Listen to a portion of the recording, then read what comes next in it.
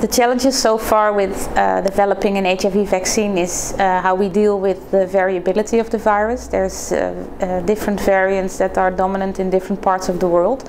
And we want to develop a global vaccine that will give protection against all these different variants.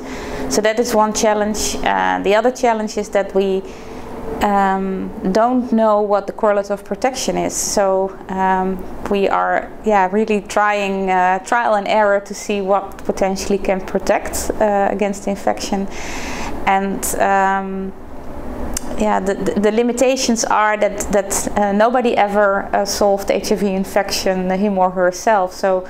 Uh, it's it's uh, it's a tough nut to crack, right? So uh, we don't know what the, the, right animal model is.